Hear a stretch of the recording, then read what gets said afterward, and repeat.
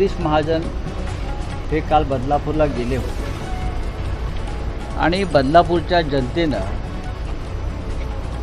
गिरीश महाजन यांना जे प्रश्न विचारले त्याची उत्तर ते देऊ शकले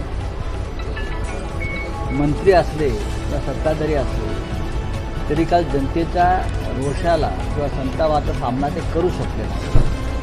आणि जेव्हा जनतेशी सामना केला जात नाही तेव्हा मग विरोधकांचा हात आहे. विरोधकांचं कारस्थान आहे.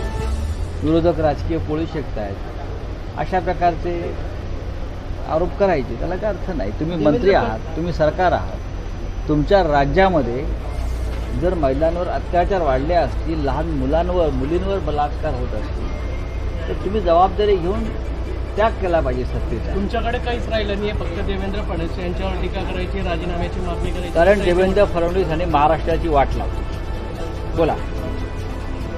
देवेंद्र फडणवीस आल्यापासून महाराष्ट्र बदनाम झाला महाराष्ट्राची वाट लागली महाराष्ट्राचं राजकारण गढूळ झालं विषारी झालं. या सगळ्याचे जबाबदार फक्त देवेंद्र फडणवीस.